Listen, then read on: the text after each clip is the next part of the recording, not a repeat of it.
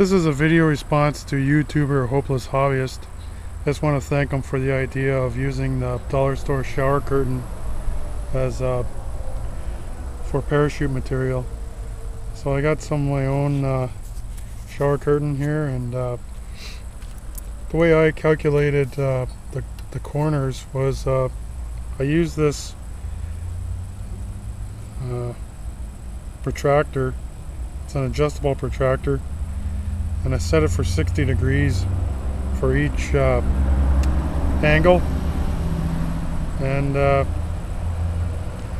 because uh, uh, there's six corners in the hex hexagon and 6 times 60 gives you 360 degrees. So it turned out really well. I, I, uh, I measured 15 inches and so I actually uh, cut out three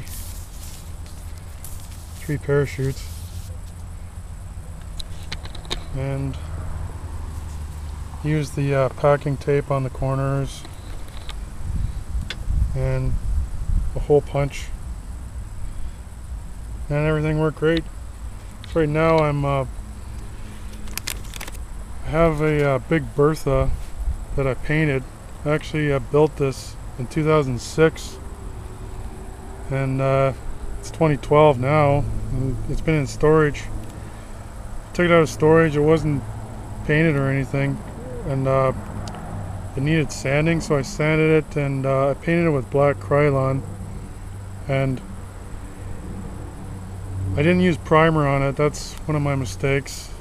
And also I didn't use filler wood filler either. So you can actually see the grain in the fins but uh, this black Krylon paint really took a long time to, to dry. It took like about five days for the tube.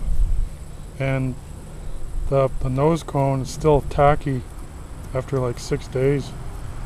So I'm trying to uh, kind of bake it in the sun, see if that helps it dry any better. So the next project I'm going to do is uh, I got this called a Skywriter, an Estes Skywriter. And uh, it looks like a pencil.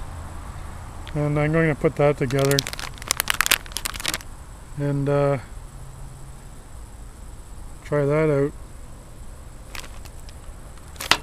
That's it. Thanks. Bye.